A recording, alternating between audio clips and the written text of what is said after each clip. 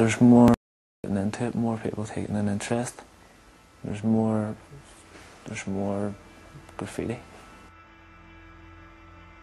When I started getting the training to Belfast, I saw the stuff by like Dan and Born 2 and all that lot.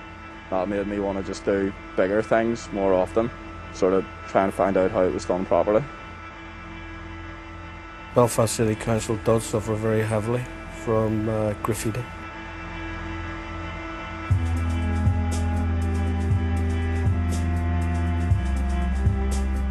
If it wasn't for graffiti, I wouldn't know half the people I know. In this country, it's a bit cross community. I'm from West Belfast. I wouldn't be over in East Belfast or South Belfast painting or meeting anybody. I wouldn't have a clue. It's broadened me.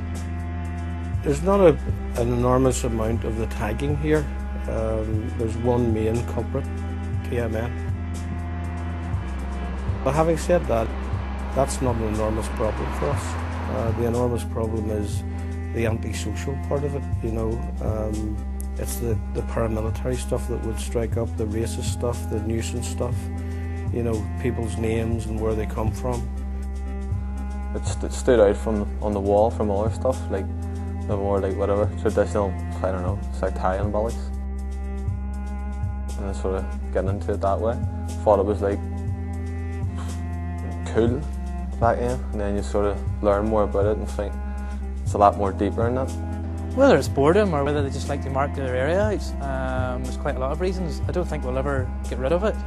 Just, just like doing it, I like seeing it, I like doing it. I know that no matter what you do, if you fill a bag full of spray paint and you go out, it doesn't always work out, but you're never bored. Like you're always just you find something, you get something done.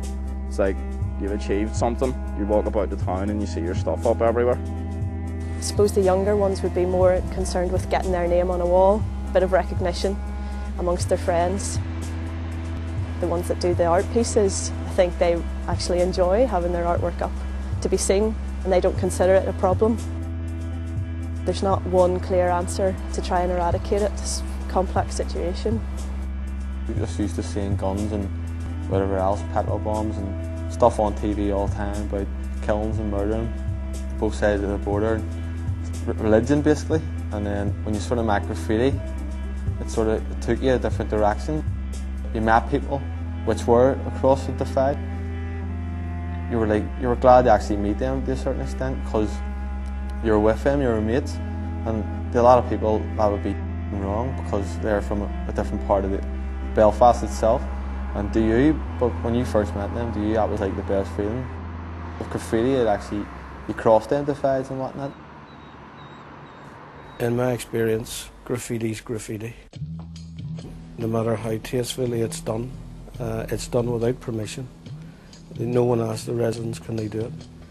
The majority of it is not tasteful, it's offensive. It shouldn't be there, uh, and the sooner that it's obliterated, the better. If you want like a chilled one, you can go out Haverford Junction at a pretty quiet wall, and at the end of the day, you look at something you really like. Like you've just made a big wall look really beautiful, and just you're proud of what you've done. Or if you just want to go out for the buzz, like you can just go out with a few cans and go tagging, go like climbing and stuff, running about. So it's like you might get a chase, you might have to like climb over stuff. You'll always get a bit of excitement. You're out with your mates and you're having a laugh sometimes. And it is like there is a bit of a buzz element to it, and then there's other times it's like it is like a wee mission, a wee sort of sort of is like the army thing. You're out sort of getting all everything prepared, getting I don't know all the paint, everything whatever wipes down your sketches and all that. Where you're going to paint your escape, all that there. It's all part of it. A wall roughly 12 foot by 12 foot um, with a good piece of artwork on it would take our, one of our teams um, a half day to remove. I would suggest it would probably cost about £250. I know there's a number of case studies across in England where there's been legal walls put up, Manchester and places like that.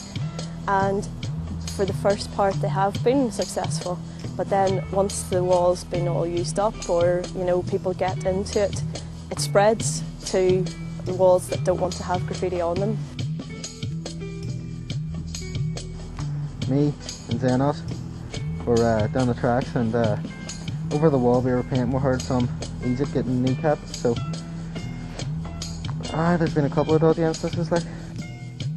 There's always a bit of risk involved with graffiti, like uh, down on the train tracks, especially down near or near Great Victoria Street Station, where there's a lot of trains moving at once. You can't really hear where they're coming from, things like that. The Enterprise moves really fast, so there's been a couple of close ones of things like that. And there's obviously you're always looking out for the police. So like there's a couple of times they've got pretty close or even been caught, but always got let off with wee things. But it's always scary when you don't know exactly what's going to happen.